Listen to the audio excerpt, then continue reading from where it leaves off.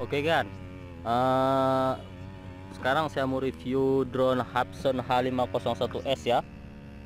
Eh, Saya ingin review fitur-fitur dari drone ini.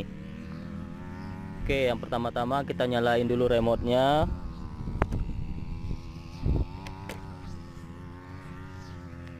Setelah remote dinyalakan eh, Kita nyalakan drone-nya ya drone-nya sudah menyala ya. Eh, lampunya sudah merah. Ya tandanya lampunya sudah merah.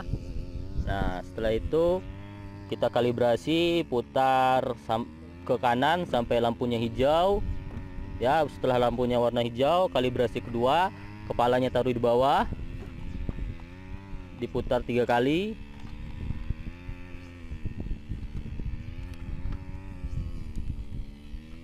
Ya sudah.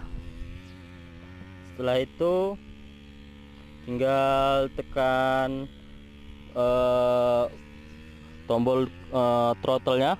Throttle dua, dua kedua throttle ini ke eh, kanan. Yang kiri ke kanan yang kanan eh yang kiri ke kiri bawah yang kanan ke kanan bawah. Oke sudah menyala ya drone sudah sudah berputar.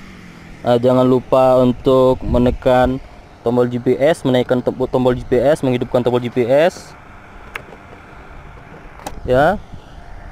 Dan sudah posisi GPS tinggal diterbangkan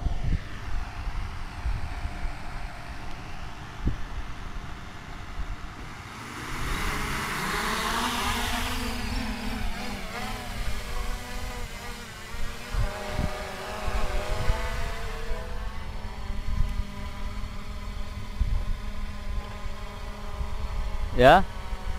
Bisa dilihat ya drone-nya sangat stabil.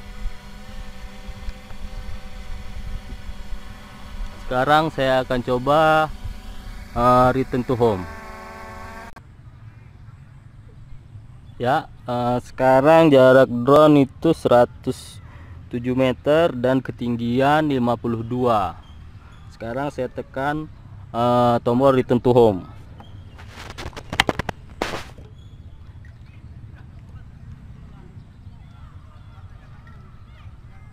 ya drone-nya sudah bergerak ya. Gerak kembali.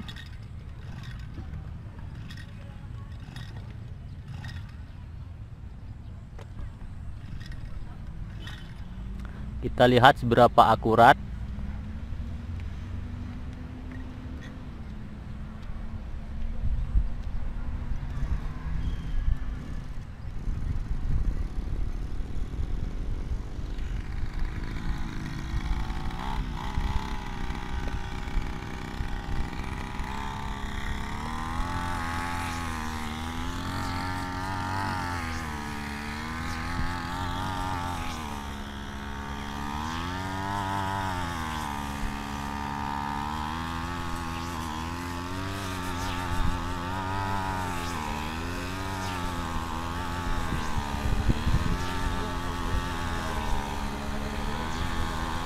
ya drone-nya sudah turun ya.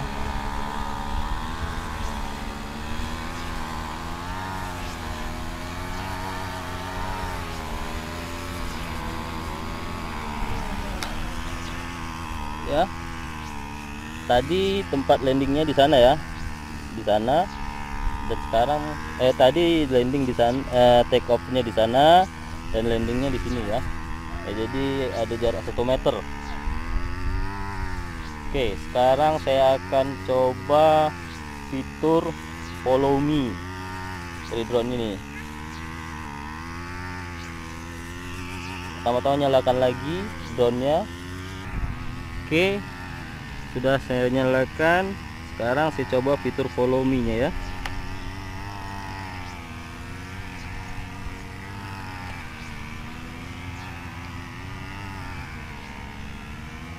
Oke, bagus ya drone nya mengikuti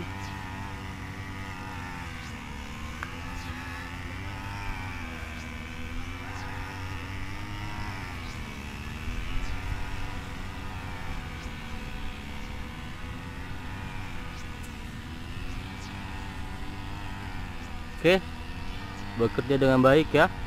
Nah, sekarang saya coba untuk fitur circle mode circle. Memutari oke. Sudah saya hidupkan mode circle. Kita lihat ya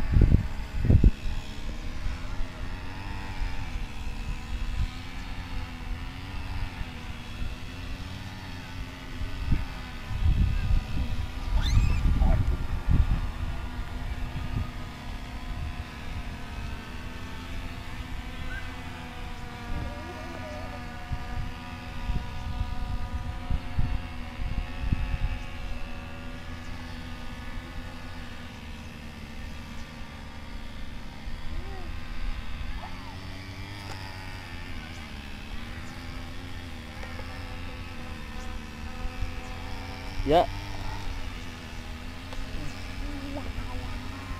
Ya sudah ya. Uh, jadi untuk fitur fitur untuk home nya bekerja dengan baik. Uh, seperti tadi kita lihat keakuratannya uh, sekitar satu meter mungkin dari awal dia take off dengan landing. Dan untuk tombol dan untuk follow me mode follow me juga bekerja dengan baik ya dan untuk mode circle juga bekerja dengan baik ya. Drone ini sudah tidak uh, mungkin ada headless mode uh, tapi karena ini firmware uh, firmware yang sudah di upgrade jadi uh, dia tidak ada headless mode. Tetapi kalau dia belum di upgrade ya dia tidak ada mode circle. Itu saja kelebihannya. Uh, mungkin itu saja yang bisa saya review pada kesempatan ini. Jangan lupa subscribe like dan komen jika video ini uh, bermanfaat bagi uh, review bagi teman-teman yang ingin mereview ingin tahu uh, bagaimana fitur dari Hubsan H501 SS